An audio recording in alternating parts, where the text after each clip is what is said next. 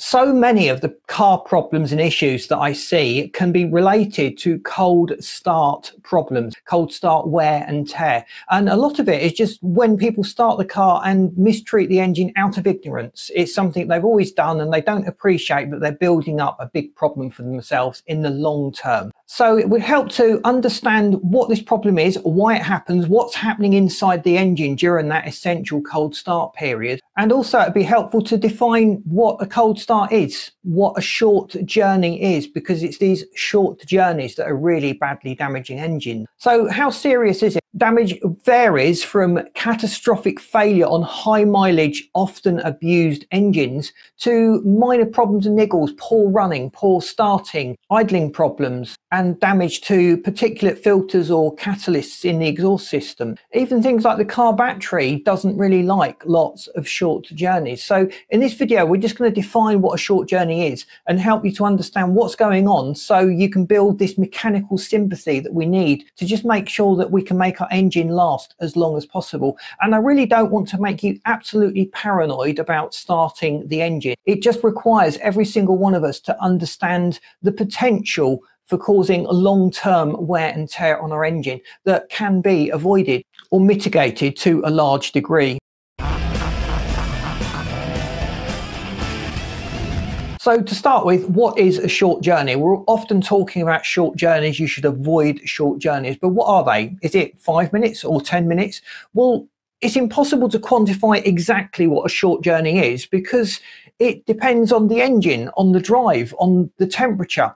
So the critical thing that we need to get in our heads is that a short journey is any journey where most of it has been done on a cold engine. If the engine has not had a chance to warm up to its operating temperature and operate at that warmed up temperature for a period of time, that's a short journey. So we've moved from an exact time definition to something more flexible that helps us to understand the need to warm the engine up and avoid the potential problems that happen during this essential cold start period that you typically get at the start of these short journeys. So in winter time, engine warm up can take much longer Again, it depends on the engine. Some engines do warm up very, very quickly. My 1.4 TFSI does seem to warm up extremely quickly.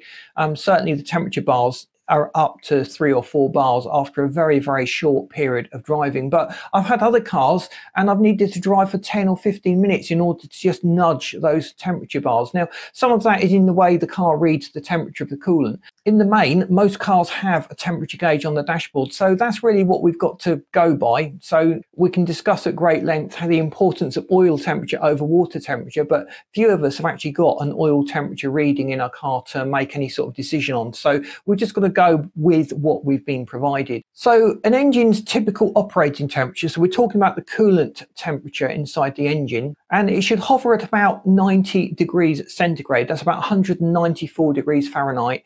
That is going to vary a little bit depending on the engine, the engine design, also how the thermostat is calibrated. Now, most thermostats in cars have a blue area, a red area, and somewhere in the middle. And the somewhere in the middle is what you should be aiming at for knowing that the engine is up to operating temperature and you can drive it hard. When it's in the blue, that's really the danger zone. That's when the engine is really trying to warm up. So what's going on during this essential warm up period? Um, why does that cause damage to the engine? Please boot the like button. That really does help us to get out there. So when the engine starts off, it hasn't got any readings from the exhaust. You've got an O2 sensor in the exhaust sniffing for oxygen. From that reading, the engine will know how much fuel to inject, how efficiently the engine is burning, and keep everything running efficiently. Now, those O2 sensors do not work when they're cold. They need to get up to operating temperature. So until they are, the ECU, the engine, the little computer inside is running blind, is making best guesses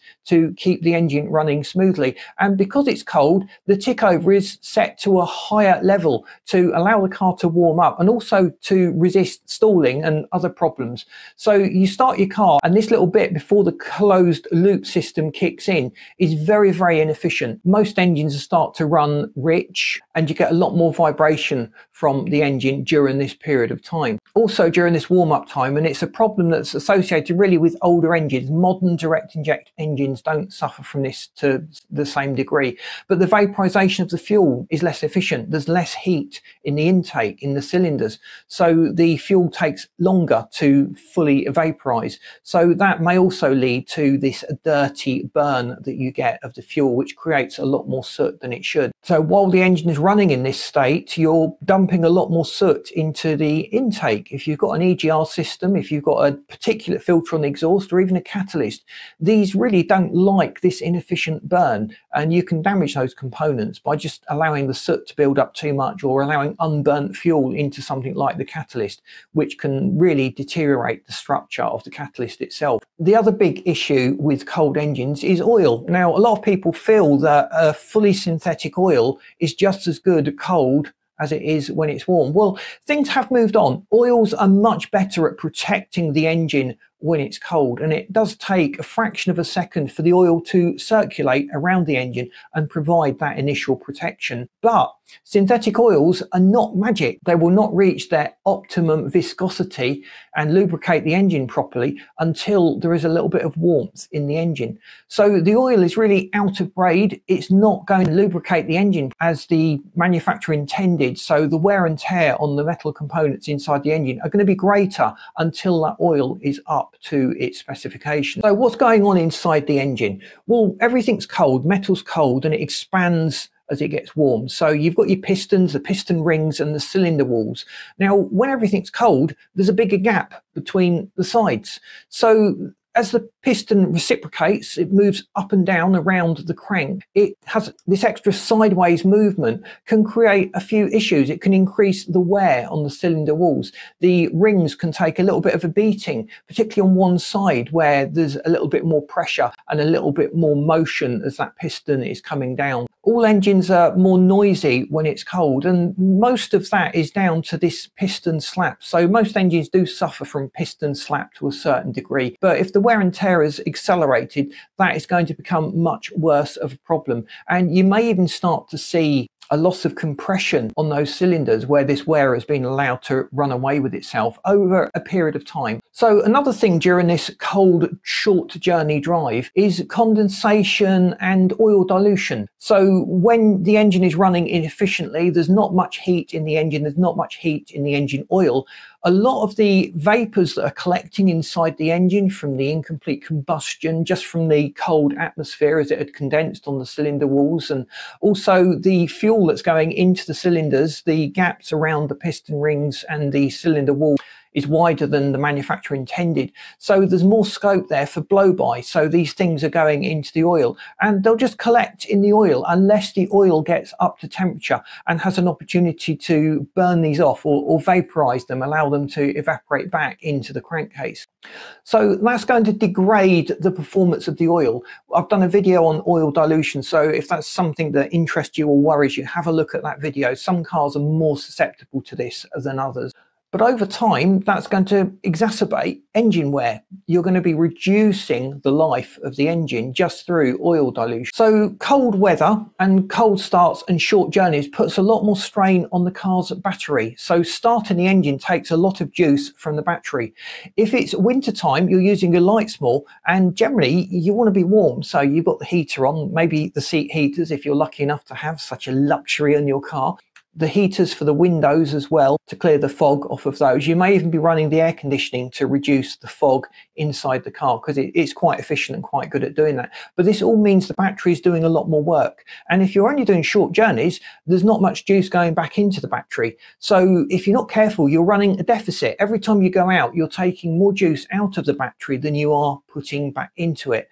And when the battery is low and it's cold, it's not going to perform very well at all. And it's going to degrade more quickly. So that can actually accelerate the deterioration on the battery and the battery cells itself. So another reason to avoid these short journeys really is just to prolong the life of the battery, to make sure the battery has got enough energy in it and it's not struggling all the time to start the car. You're also wasting fuel. Fuel efficiency is much worse during this startup phase. So just doing short journeys if you added up, say, 200 miles of short journeys and compared that with one run of 200 miles, you will see a massive difference in the fuel economy. It can be to the order of 20, 25% more fuel is used on those multiple short journeys than on that long journey. So as well as damaging the engine or accelerating the wear and tear on the engine, it's going to have an impact on your pocket. If you can combine all of those short journeys into one day, even if they're not consecutive,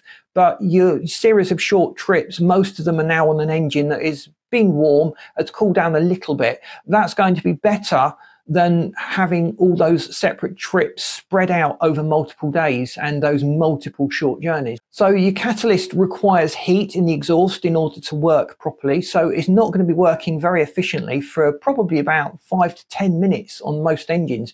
You need to get that heat into the catalyst in order for it to work effectively. And I've already mentioned the problem of unburnt fuel going into the catalyst. That creates a big problem for most modern catalysts. At the very least, it's coating the catalytic elements so they're not able to react with the exhaust gases. And in the worst case scenarios, it can raise the temperature temperature. I've actually seen catalysts glowing bright red where the excess fuel has gone into them and it started to burn inside the catalyst. And that's led to degradation of the catalyst itself. Then we've got particulate filters. These are little filters in the exhaust that trap all of the big soot particles and the theory is it will get hot enough to burn those off. It will run a regeneration. But if you're only doing short journeys, the first problem is you're dumping more soot into these particulate filters because the engine is running less efficiently and it's dumping more soot out. But also it's not getting up to temperature to burn that soot off.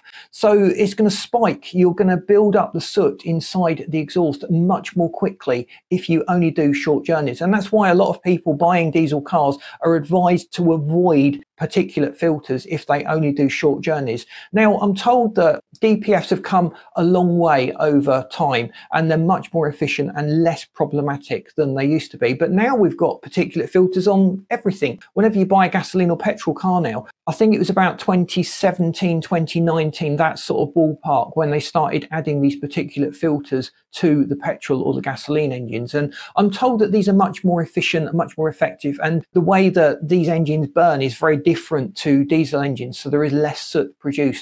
And manufacturers expect those particulate filters to last a very long lifetime within the car. So hopefully they won't be as much of a problem. But these short journeys are really going to add to the problem. It's not going to get up to temperature in order to burn off those particles that it's been collecting. So short journeys seem convenient we're all a bit lazy, let's face it. That walk to the corner shop in cold weather is much nicer if you can turn it into a drive to the corner shop in cold weather. But just take a moment to think about what that's doing to the long term life of your engine. Is it degrading the oil? Is it increasing the wear and tear unnecessarily? Are you spending a lot more money on fuel just to get round the corner to the corner shop? So think carefully. Someone said to me, if you like your engine, you'll walk. So the idea behind that phrase really is if you're able to walk, you should really it's not really a job for your engine. You're just being particularly lazy if you use your engine for those short journeys. But we've seen the damage that happens. We understand now what a short journey is, the requirement to get the engine up to temperature. I've done other videos on warming up the engine and little tips to get you up to operating temperature more quickly. And please boot that like button. That really does help us to get out there. Appreciate all the support, all the comments. Let me know what your thoughts are on this topic and if you've had any problems with cold starts, short journeys journeys and whether you do lots of short journeys and you've had problems or whether mainly your commute is quite a long one and that's enough to keep your engine in good condition. And I've lined this video up for you. And if you haven't subscribed, please do so because we'd love you to stay tuned to the channel. Thanks for watching. See you in this next video.